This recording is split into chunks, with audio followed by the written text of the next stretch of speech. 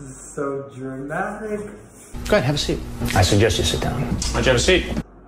I should get headphones. God, I feel like this is a coming out video. okay. All right, well, this video is gonna be a little bit different than some of the other stuff that I usually post. This is gonna be more like vloggy kind of. So if you're not interested in listening to me talk, because I know I wouldn't want to, you can skip over this. Give me a turn to speak! talking about um, where I am, what I'm doing, and why I'm doing it. So three uh, three weeks ago, uh, all right, Seto coming in from the editing room. In the video, I said three weeks, but actually by the time I got to edit this and post it, it's probably more like two months. So sorry for the wait. I moved to Armenia. Um, uh, I didn't tell a lot of people about this um, change. Um, so if you think I'm in Armenia right now for vacation, it's actually much more permanent than that. This video is basically talking about the couple of reasons why I wanted to leave the US and also why I wanted to come to Armenia. I get this question a lot and uh, I feel bad just kind of brushing off the question because I don't feel like really going into detail about my reasons. I'm just kind of bit like, oh yeah, I thought it'd be a change. No, but there's like a lot of reasons why I wanted to move. I was deciding to um, go through this process. The first reason, this is so morbid, but it's the God, the honest truth. One of the main reasons why I wanted to leave the US was because my constant paranoia of mass shootings and gun violence. Damn, if you can't go to bed on those where the hell could you go? I don't know if I just have more heightened anxiety than the average person or people think this also but just don't talk about it but like I have had I have a fear of mass shootings in the US.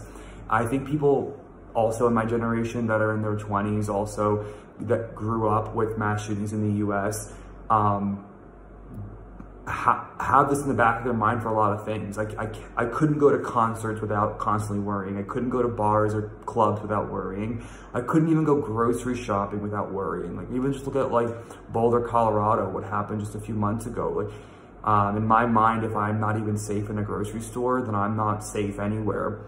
Um, so gun violence is really bad in the States, especially in Philly and with the rise of mass shootings, even um, recently, um, after like some states have made changes with gun control, it's still really scary. And um, I knew that um, I needed to make a change because I was in constant, constant anxiety. Let's get the fuck out of this country, motherfucker. I can't clean way. Number two, um, mm, I didn't, I don't want to be political, but the Trump years really changed my idea of what I thought America was and where it was going and um, who the people I was surrounded by. Um, I'm not going to make any, um, I don't wanna, I'm not going, I don't want to, I don't want to generalize people or my friends, but all I'll say is the Trump years changed a lot about what I thought America was. Keep your voice down, please. Keep your voice down. And where it is heading.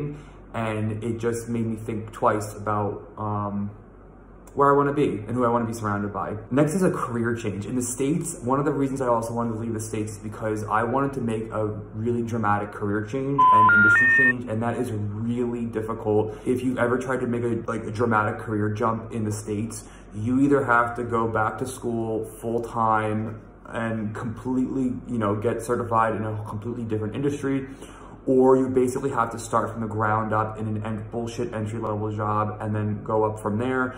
I did not want to go back down to entry level positions just to make a career change.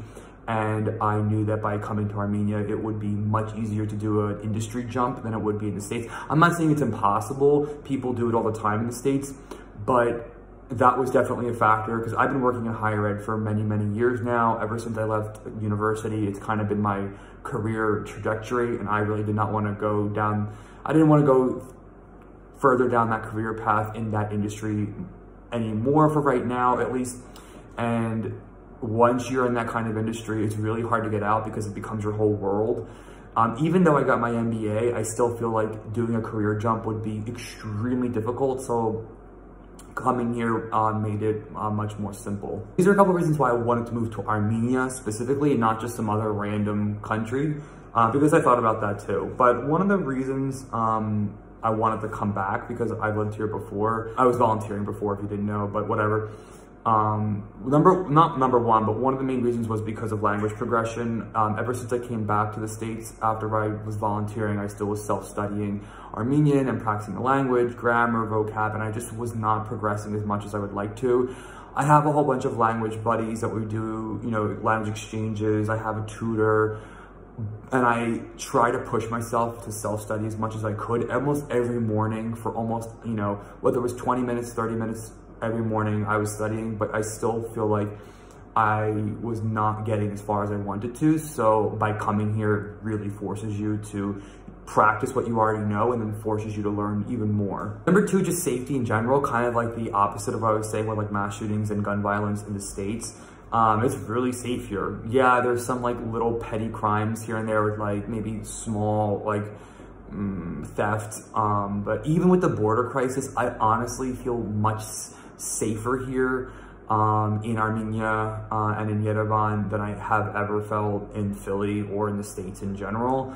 Um, even in the suburbs, like sometimes you don't even know what's gonna happen in the States. But here, um, people are chill, like people are relaxed. Like I've never heard of a shooting here with just regular people. I've never heard of a stabbing.